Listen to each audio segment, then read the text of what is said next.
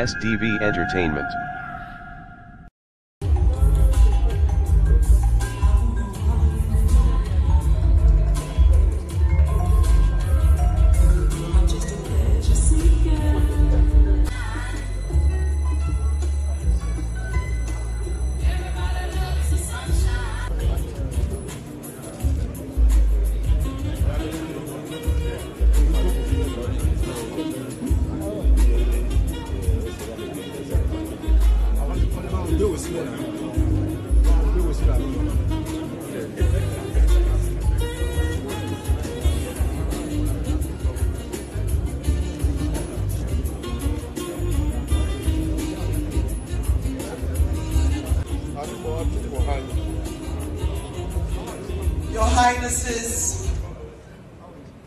Your Excellencies, members of the diplomatic corps, and the international community.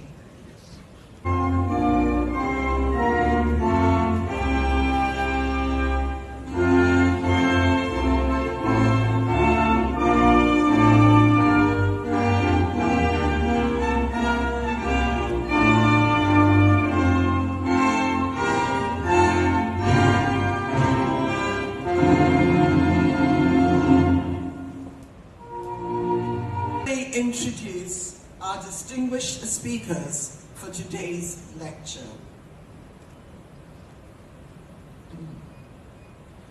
I'd like to welcome Otumba Olufemi Pedro, the former Deputy Governor of Lagos State, representing the President-elect Asiwaju Bola Tinubu.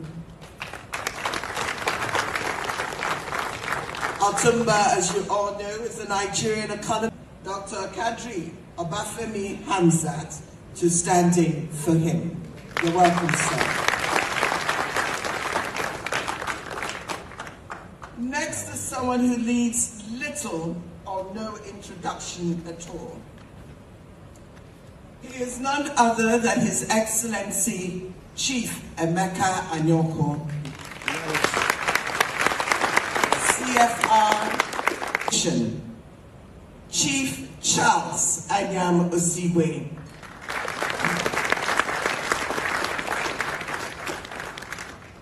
And then, of course, the gentleman of the moment, our keynote speaker, the Right Honourable Boris Johnson, former Prime Minister of the United Kingdom, and still a serving member of the British Parliament.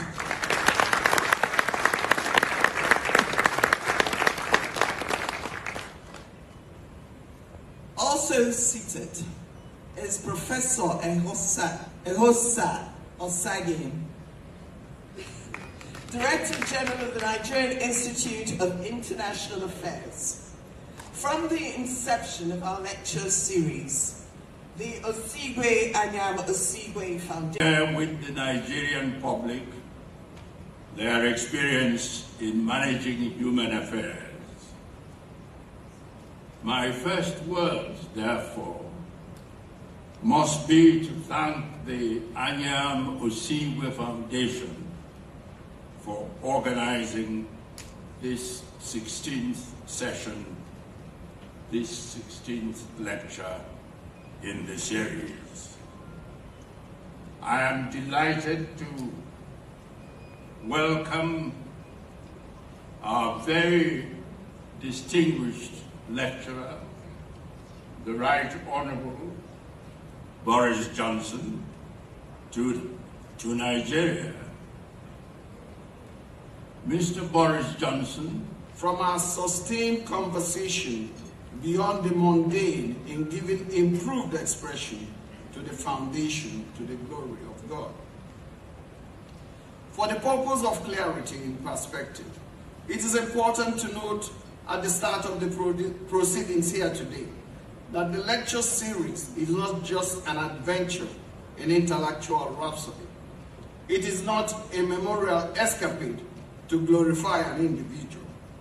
No, it is an adventure within the bounds of the submission of Emmanuel Onyechere Osigwe Anyiam Osigwe on how we can vastly realize a better world order. It is in this construct that he variously espouses on man as the primary moving force of sentient existence. In his fragments, he avers that the patriarch of the family and the inspiration for this lecture series was a man who during his time on earth was very much interested in the human psyche and essence, and in the idea that human beings exist within a spiritual context and manifestations and extensions of a divine being, a divine intelligence. He believed that an appreciation of this connection that we have to the spiritual ought to condition us to live lives that are moral and ethical and devoted to the greatest good. However, once we lose this awareness and of connection to this divine intelligence, this brokenness opens up the human psyche to negative and immoral influences like violence, greed, selfishness, dishonesty, and so much more, which then manifest in our communities and in the world as insecurity, poverty, inequality, immorality, and other social ills. The above is a fundamental thesis in the Anyiam Osigwe philosophical worldview, and this is why the theme of this year's lecture is very apt. Rehumanizing human experience means going back to its first principle, the discovering or restructuring the connection to the divine.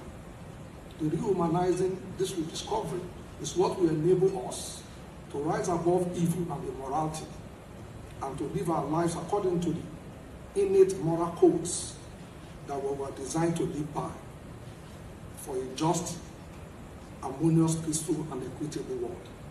Quoting from the material made available by the foundation, discussions of these sessions will focus on exploring Anyiam Osigwe's exposures on reinventing the human essence in its pristinest form. He's a friend of the family and he sends his greetings. He's unavoidably upset.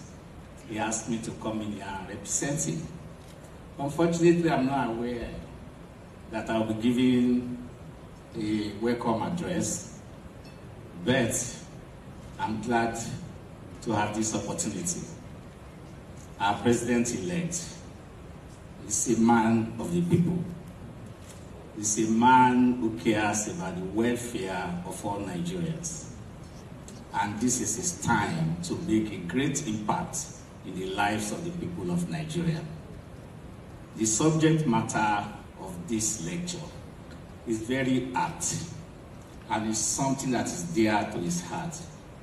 And that's why he called on me, insisted I must be here today to welcome all of you here. Being a former governor of this state, now the president-elect of the Federal Republic of Nigeria, is preparing himself for the great task ahead to take Nigeria to greater heights. We should all be well assured that Nigeria is in good hands. Calm. Be confident. Nigeria is on a great journey. Asiwaju Bola Tinubu is the pilot. Thank you very much and God bless you.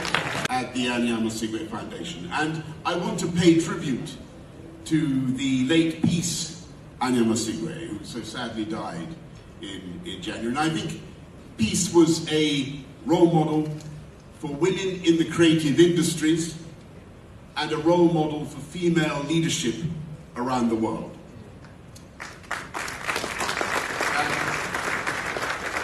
In the spirit of this lecture series, I want to talk about human potential uh, and the way we unleash human potential, because that is the prime duty of all of us, uh, all of us, so many, all of the leaders, all of the teachers, of politicians everywhere.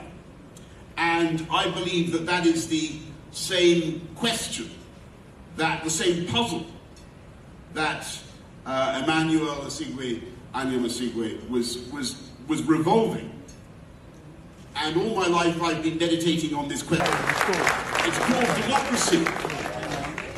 And it's very precious. And it works. And it's under attack the whole time. Why did Vladimir Putin decide to launch his evil and criminal onslaught on Ukraine, triggering the worst war in Europe for 80 years?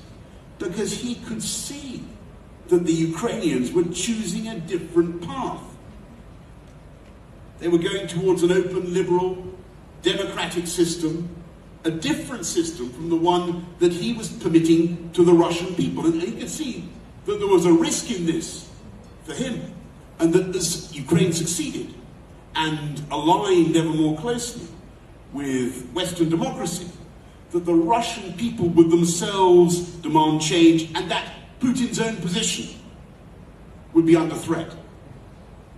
Uh, and why, by the way, do you think he miscalculated so badly?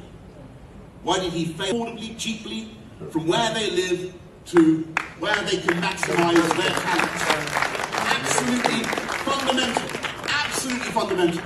And it's one of the many blessings of living in London that in 1853 they came up with the idea of putting trains in trains in drains, they called it, trains in tunnels. 1853. So that suddenly millions of people could move underground at high speed and they didn't have to wait in giant traffic jams of stationary horse-drawn carriages with the, with the dung, with the dung piling higher and higher on the cobblestones.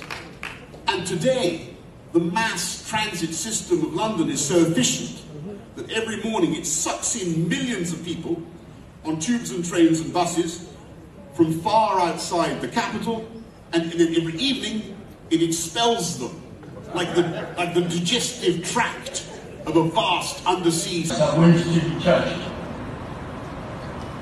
that he made a rule when abroad not never to criticize the government of his country. But when he was home, he made for lost time. I dare say that the reaction of the president was exactly like yours because he laughed. As I said, Mr. Boris Johnson is a fantastic journalist. And this can be attested to by many of those who have over the years